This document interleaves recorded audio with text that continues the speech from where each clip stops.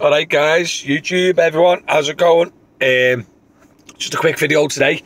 Uh, we've just received our first payment of holiday entitlements and whatever, statutory, minimum wage, sick pay, and all that jazz. I'm not too sure how it works. Uh, but the best way to check how much you got is when you go on your earnings, just go to last week's earnings, and it's in last week's earnings uh, as see what it's been put in as.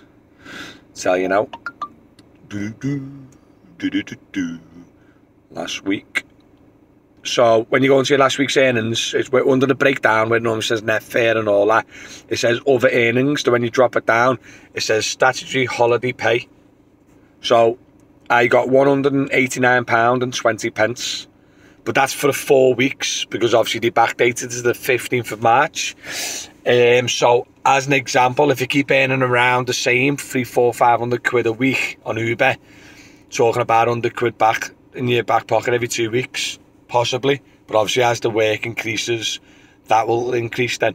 So you could be talking maybe 100, 120, 150 quid a week, depending on how much you earn. So yeah, good little extra bit of bonus for you. But I just wanted to do this little video just to show you how you can, because it took me a bit of figuring out how to find out exactly how much I got. Because if you go to the cash out option, the cash out options is including your current earnings for the week.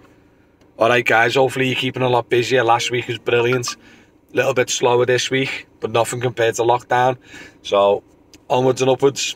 Peace out, guys.